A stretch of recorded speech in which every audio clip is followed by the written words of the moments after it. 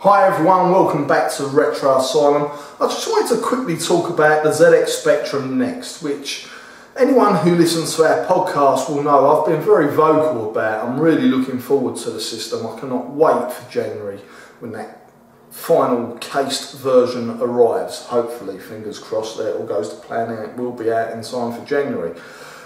What saddens me is over the past couple of weeks on Facebook, on the Spectrum Next page, there seems to be a lot of negativity recently um, from people who are saying that the system has become uh, too feature heavy and that it's moving away from what the original ZX Spectrum was about.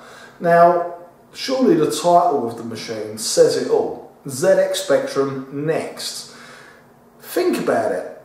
If Amstrad had carried on with the Spectrum range, and had introduced a 16-bit version of the ZX Spectrum, surely it would have had to have competed with the likes of the Atari ST and Commodore Amiga. Surely, okay? So, to me, although the team are using sort of modern techniques to bring these features in, that is all they're doing. And yeah, the other thing is, it's quite an expensive piece of kit. There was people moaning at the time, you know, saying, oh, 200 quid is too much for a ZX Spectrum. And now the team have tried to cram in as many features as they can to make it value for money. And people are still moaning. So I'd like your thoughts on this. You know, do you want to see this system and see it really push the boundaries when it comes to 8-bit gaming?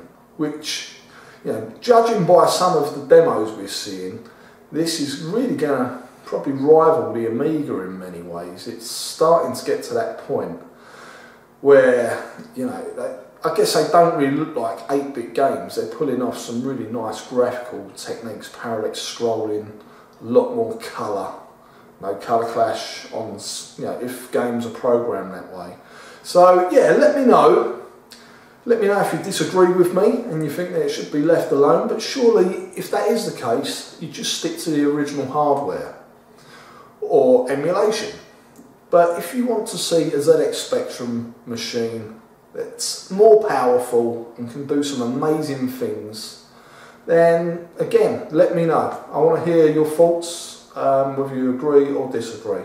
Okay, thanks guys, we'll see you soon and stay tuned to the Retro Asylum podcast.